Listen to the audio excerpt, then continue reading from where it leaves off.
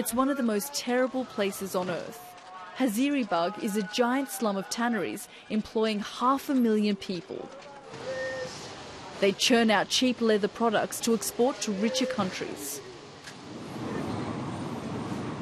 The owners want to keep the conditions inside the factories a secret. Journalists have been beaten up.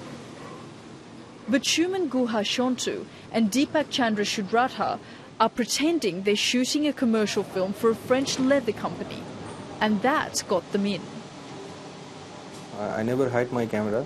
I'm always with my camera with rolling and I'm always shooting and convincing everybody and they also helped me for shooting this. What they discovered is a living hell.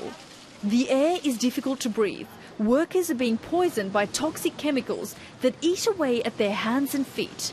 90% of them will become ill. Most will die before they reach the age of 50.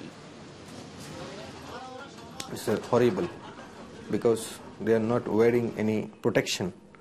They have only gloves, only, you know, it's a like kind of high boot without wearing any high quality protection. Both cameramen become ill themselves, suffering from severe nausea and headaches. But they carried on filming.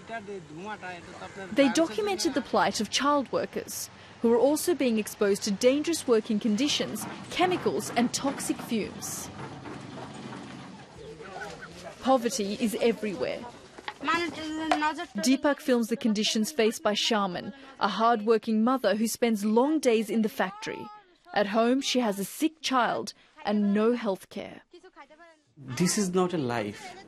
She worked all day long, but she, she did not get the real remuneration. She did not eat well, good food. She did not get mm, proper treatment.